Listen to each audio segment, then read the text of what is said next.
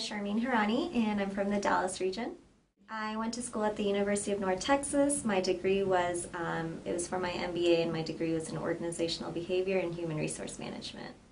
Consulting as a career, um, I love the fact that you get to meet new people every day. You get to do something new every day. It's not the routine work. At the same time, I love the fact that you're constantly challenged within consulting. You're working your brain at all times and providing new solutions to a client. And it's always nice when people take your advice. So I do like that about consulting.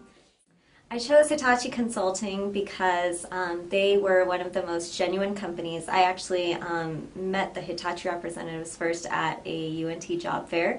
They were just so genuine. They were so personable. Um, so willing to let me more know more about the company, and um, just getting to know some of the employees there. I mean, I was constantly connected with employees throughout my recruiting process and seeing that a they're actually happy with the company regardless of the number of the years they were within the company. And seeing the um, how well they got along with each other just the culture of the company itself um, the fact that it's small enough that you know um, everyone's so close to each other but it's also such a huge company where it's well known through globally.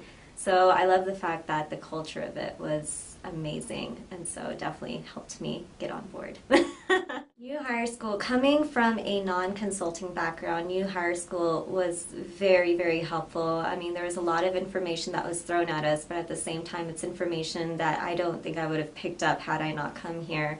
Um, so many new things, so many new skills I can use. I love the fact that there were um, case studies and real world examples that we can actually act out the part and